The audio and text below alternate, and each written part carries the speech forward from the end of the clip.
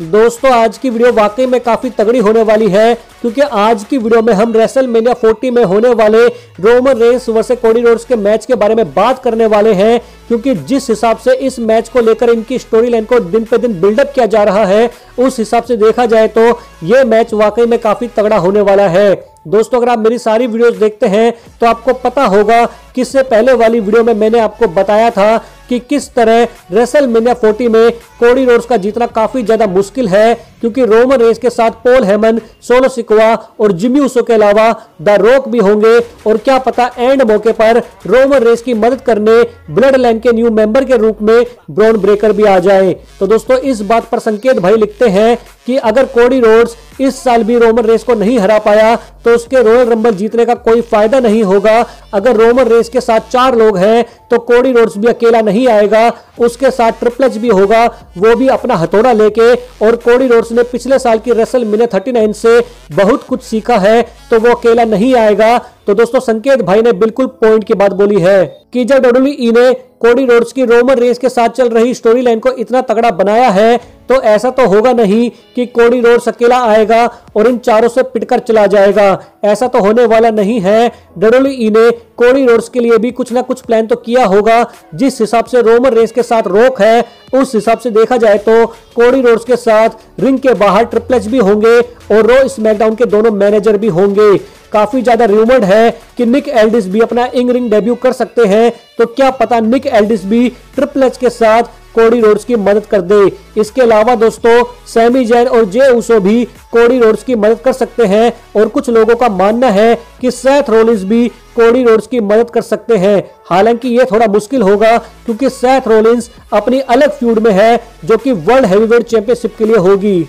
इसके अलावा दोस्तों, कुछ लोगों का मानना है कि स्टोन कोल्ड स्टीव वस्टिन भी आ सकते हैं कोडी रोड्स को रोक से बचाने के लिए। लेकिन दोस्तों, आप खुद सोचिए, जब रेसल मिनिया फोर्टी के प्रेस कॉन्फ्रेंस में द रोक चोड़ में खड़े होकर कोडी रोड्स को एक थप्पड़ में हिला सकता है, वो भी ट्रिपल सेथ रोलिंस और रो स्मैकडाउन के दोनों मैनेजर के सामने तो आपको क्या लगता है, रेसल मिनिया फोर्टी में रोक कुछ नहीं करेगा, सिर्फ़ खड़ा होकर स्टोन कोल्ड स्टीव वस्टिन और ट्रिपल एच का वेट करेगा, ऐसा कुछ नहीं होने वाला। क्योंकि दोस्तों, अभी डब्ल्यू के पास रोमन रेस के लिए फ्यूचर में और भी तगड़े तगड़े प्लान है, क्योंकि अब तो डब्ल्यू के ऊपर रोक का भी कंट्रोल है और रेसल मिलने के बाद भी हमें द रोक डब्ल्यू में दिखाई देने वाले हैं। तो दोस्तों, ऐसा हो सकता है कि द रोक कैसे न कैसे करके रोमन रेस को रेसल मेनिया फोर्टी में जितवा देंगे, उसके बाद इनकी एक न्यू ब्लड लाइन बनेगी और फिर इनके आपस में मतभेद होंगे। द रोक बोलेगा कि वो है ट्राइबल चीफ, रोमन रेस बोलेगा कि वो है ट्राइबल चीफ, और क्या पता सोलो पोलो भी अपने आप को ट्राइबल चीफ बोलने लग जाए। तो इनकी भी रेसल मिनिया फोर्टी के बाद अपनी अलग फ्यूड चल सकती है। तो ऐसे में रोमन रेस का रेसल मिनिया फोर्टी में जीतना ज़रूरी है, तभी ये सब होगा। इसके अलावा दोस्तों, जैसा कि मैंने आपको पहले भी बताया है कि रोमन रेस अभी हल्क होगन के चौदह डेज़ के रिकॉर्ड के काफ़ी नज़दीक है। तो ऐसे में डब्ल्यू ई रोमन रेस को हल्क होगन के रिकॉर्ड के इतना नज़दीक लाकर हरवाना तो पसंद नहीं करेगी। इसके अलावा दोस्तों इंस्टाग्राम पर अभी कुछ दिन पहले रिक्की सी ने वी द वंस नाम की एक चैंपियनशिप की फ़ोटो पोस्ट की थी, जो कि समोन फैमिली और ब्लड लाइन को दर्शाती है। तो क्या पता रेसल मेनिया फोर्टी में रोमन रेस के जीतने के बाद ब्लड लाइन और भी ज़्यादा तगड़ी बन जाए और अपनी टीम की पहचान के लिए एक न्यू चैंपियनशिप भी लेकर आ जाए, जो कि वर्ल्ड टाइटल तो नहीं होगी लेकिन ब्लड लाइन टीम की पहचान होगी।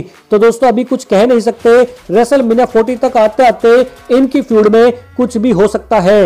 लेकिन दोस्तों, आपको क्या लगता है? आपके हिसाब से रेसल मिना फोर्टी में रोमर रेस वर्सेस कोडी के मैच में कौन जीतेगा मैच वो आप हमें कमेंट के थ्रू बता सकते हैं। तो दोस्तों, ये थी मेरी आज की वीडियो अगर अच्छी लगी हो तो प्लीज़ वीडियो को लाइक और शेयर ज़रूर कर देना।